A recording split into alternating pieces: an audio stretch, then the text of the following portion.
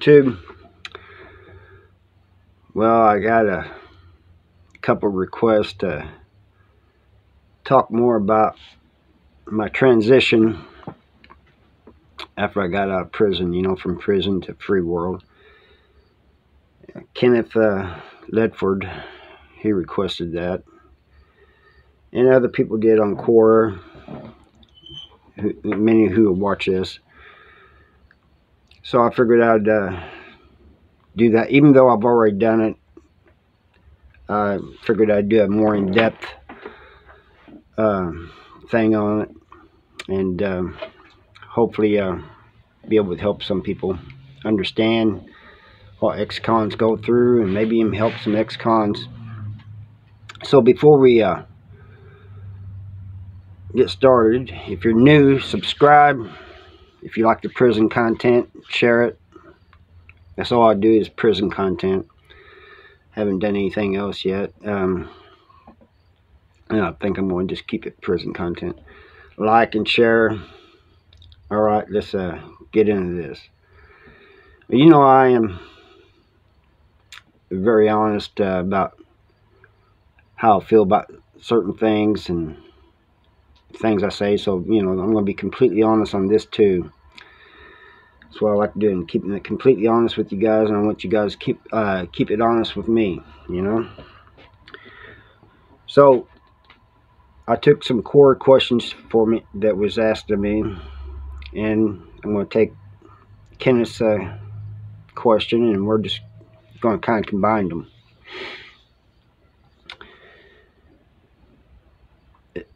One of the questions is. Uh, if you're about to be done with parole, what would you do to celebrate? Buy a beer. You know, get some beer.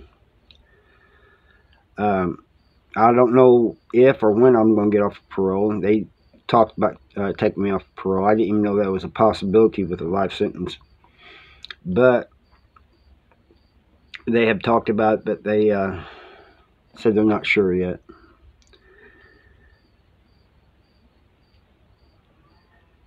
Says when released from parole how do you let go of the prison mentality? Well i think with different people it's different you know? People with things differently. And some people can't let go of any of the prison mentality.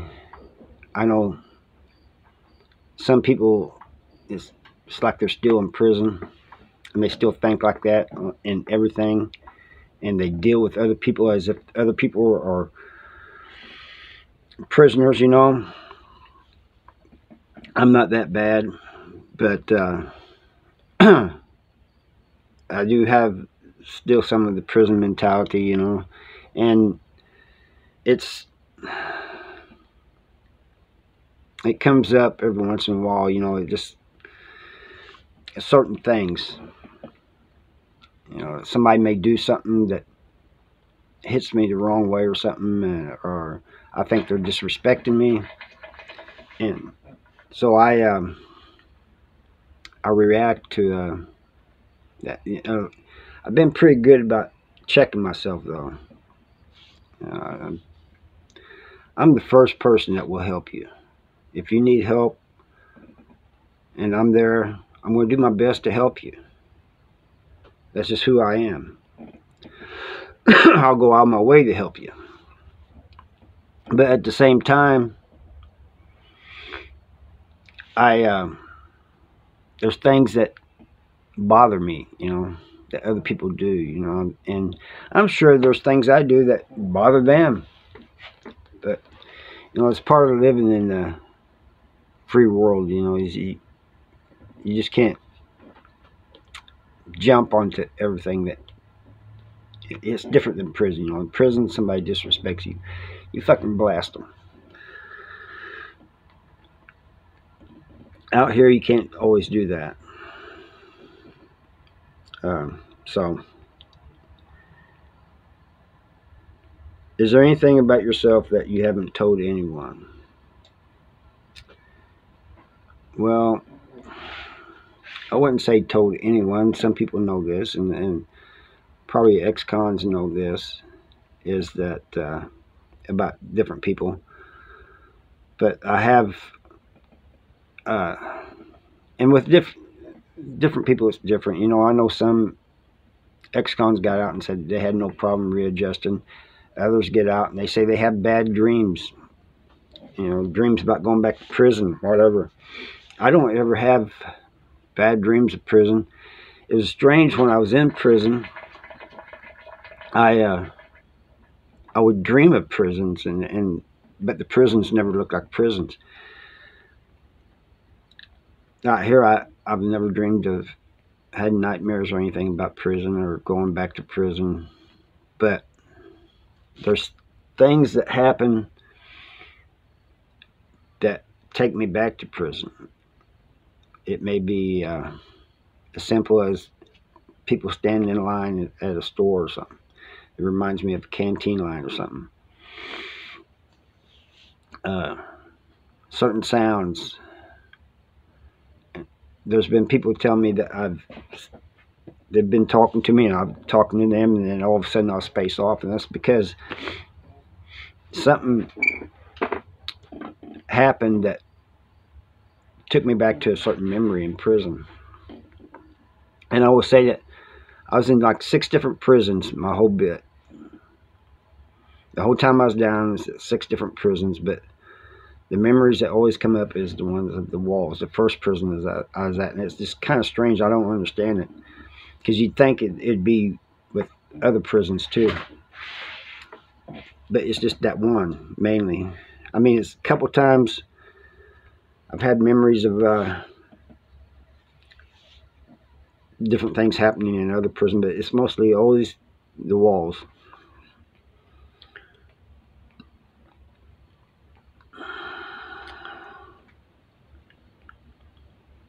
How did I convince somebody to hire me? Well, I no longer have that job. It wasn't because I got fired. It's because I was having real bad health problems. But um, I called this guy I'd been looking for a job for about a year, and I called this guy. He was a construction worker. Excuse me. And he said, I said, hey, uh, this was like on a Friday or something. I said, uh,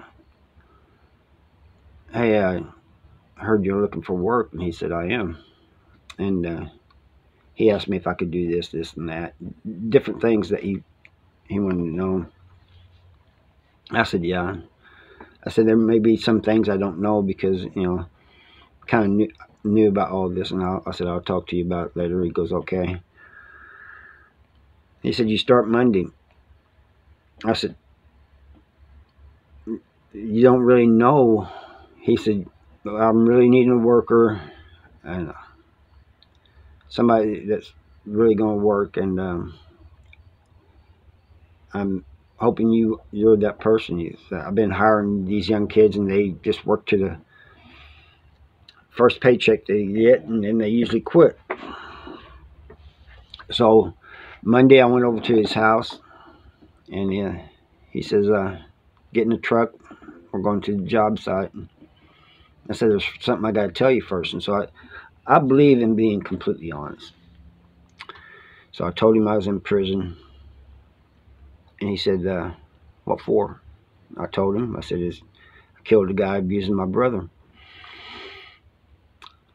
He said, works for me. He says, get in the car, we're wasting time. And that was it. It did take me a little while. But I want to tell ex-cons out there, or people just getting out of prison, you can get a job. Don't give up. Somebody will hire you and especially in this time that we're going through now, somebody will hire you. You just do not give up. Uh, you know, show everybody that you can make it out here. Uh, don't go back, you know, to selling drugs or whatever. I know that's fast money and everything, but it's also uh, chance of going back to prison. You know, uh, you gotta get lucky every time. If you're dealing with drugs, whatever it is you're dealing with, you gotta get lucky every time. The cops only have to get lucky once. So it's better just to have a, a legitimate job, you know. That's just you know, I ain't knocking the drug dealers and everything. I'm just saying somebody getting out of prison is best just to get a job. And uh, somebody will hire you. And you can eventually uh, you know get your life right you know. The transition and, and all this um, you know when I first got out as overwhelming there was two times that I was scared. I ain't gonna lie. Like I said I keep it completely honest. I was scared when I went to prison and I was scared when I got out. Because I'm going back into the unknown. 29 years in prison I don't the world has changed. I knew that. So getting out.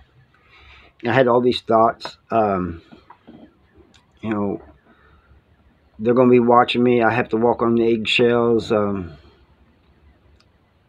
if somebody else commits a crime what they accuse me of it. Uh, all these thoughts you know and um, was going through my mind. But uh, those kind of left kind of quick. That it didn't last too long um, but it was just overwhelming and part of it was because everything was new you know the first few days it just the days went by fast and it seemed like I was exhausted at the end of each day. I was tired. But uh, it the when I first got out it was hard for me to just walk outside. I wanted to uh, I mean I just waited until somebody said hey you can go outside that was um, it took me a while a little bit to get used to that about week, maybe a little longer than a week to get used to that. And then I would always go like this, film for my prison ID for the first few times for about, I guess, about a week. You know, I, it was just an automatic thing because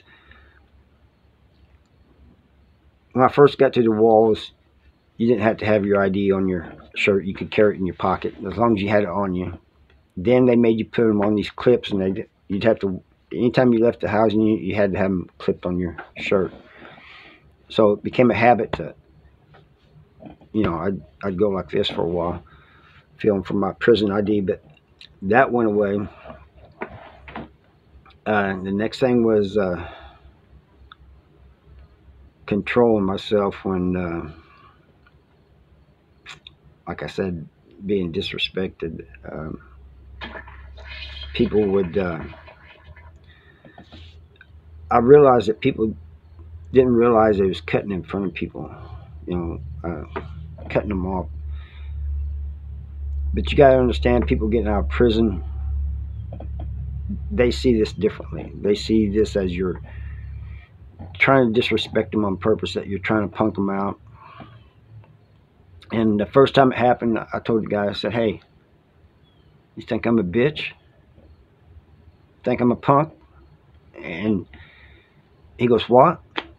I said, you cutting in front of me like this? You, you trying to punk me out? Well, it didn't take me long to realize he had no idea what I was talking about. And so I, I finally said, never mind, just go. You know? But you got to realize that not everybody's going to be like me. You know, I was able to control myself in that situation. Although if he would have smarted off to me, it might have ended differently.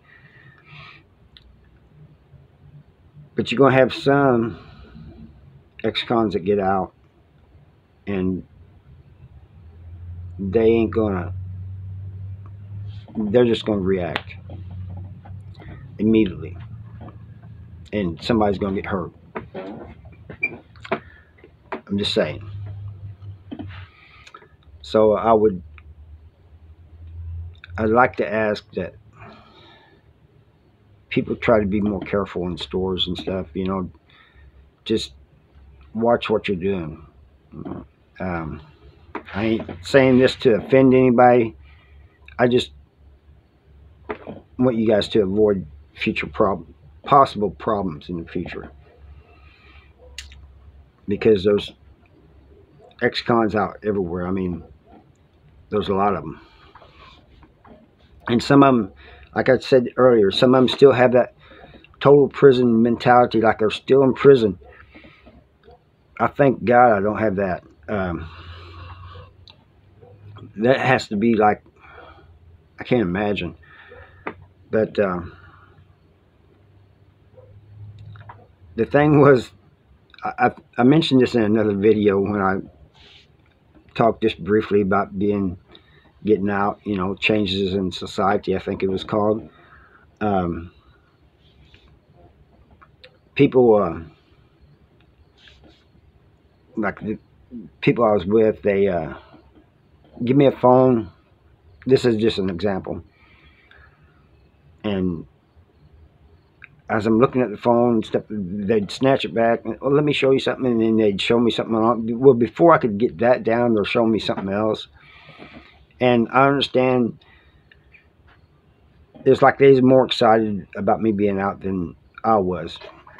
And of course, they had to show me everything, you know. Um, even my boss was like that. Hey, have you tried this?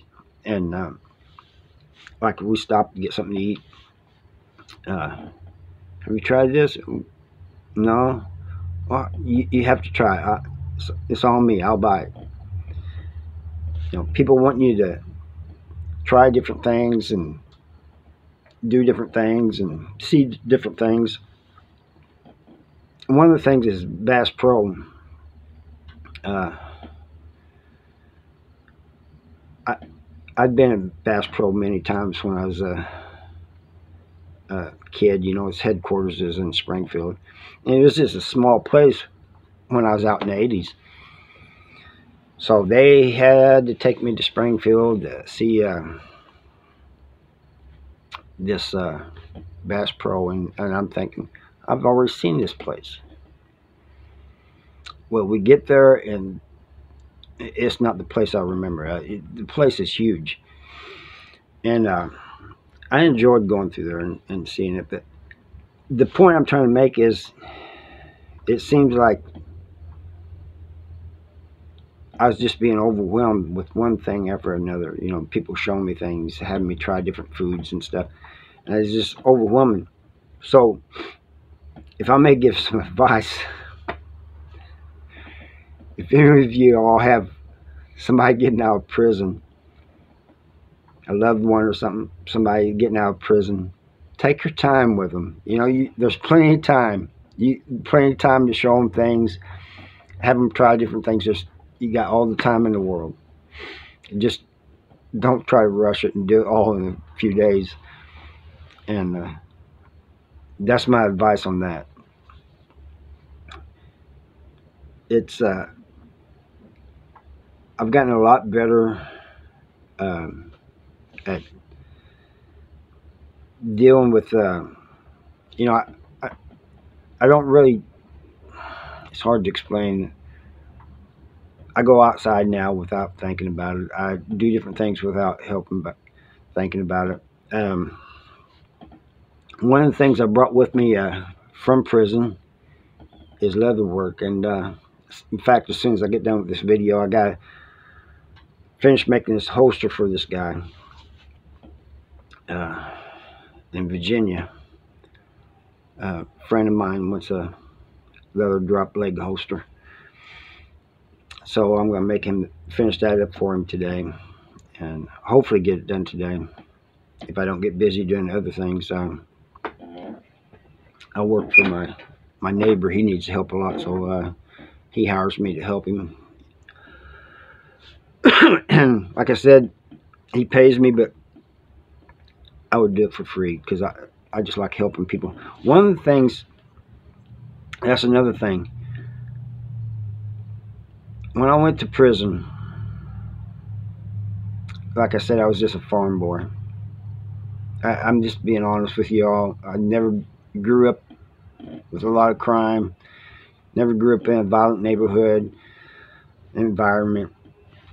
So they put me in this violent, brutal environment. And uh, I mean, I just I can't describe how bad it was. Um, it's just it was really bad, but it didn't take me long until my mentality changed and I stopped thinking about, oh, this guy's bleeding, you know, he needs help. It's none of my concern. And I'd walk right on by. I ain't putting myself in danger by helping this guy. I don't know this guy. Unless he's a partner of mine, somebody I rode with, I'm not helping you. He could bleed to death for all I care. It's not that I didn't care. It's I ain't gonna put my life in danger by helping this guy when it had nothing to do with me. Uh, so I got to where I would just hold back all any compassion I had for others. I got desensitized to all the blood and the violence and stuff that was going on. So when I got out, things didn't bother me. You know, like if I, somebody was in a wreck or something, seeing the blood didn't bother me. You know, like many other people. But I did have slowly the thing to help other people came back. You know, it. Uh, I realized I didn't have to hold it back no more. I could show compassion for others, you know. And uh, that took a little bit, but I'm glad that came back. It was refreshing, you know, to be able to do that again, you know, to um,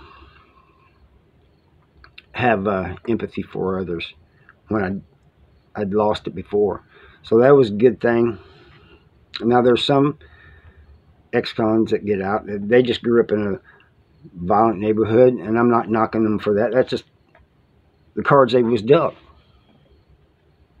So when they get out, they, you know, it's they may not ever get uh, any compassion for others or empathy, you know, and I'm not blaming them for that. That's not their fault. And people got to realize that some people are raised in certain environments that was not their fault, you know. There's the way they was raised and uh, so you can't really say, "Well, this person's a bad person," whatever. And maybe they are bad, but that doesn't mean that it was all their fault. You know. Sometimes it's your environment. Like I said, my environment was a farming community. These dang flies, I don't know where they came from. Sorry about that but uh, so it was it was nice to have all that. And like I said, I'll go out my way to help somebody. There was a tornado went through this town three or four years ago, and I went around helping people. The, the strange thing about it was some people didn't accept my help, and I found out later that it's because people are going around after disasters now offering to help people in return for pay. I don't believe in that. If there's a disaster like a tornado or something goes through, just help your neighbor. That that's the way I feel about it. And so people going around after somebody's been through a tornado or something, you know, and offering to help if they get paid for it, I disagree with that um, just help your neighbor. That's a, you know. it, it kind of tells you the way this world is taken. You know, turn to. So anyway, Kenneth, I hope I've answered your questions. If I haven't, just let me know and I can answer them in a comment, whatever. Um, but I hope uh, you guys enjoyed this video and thank you for watching.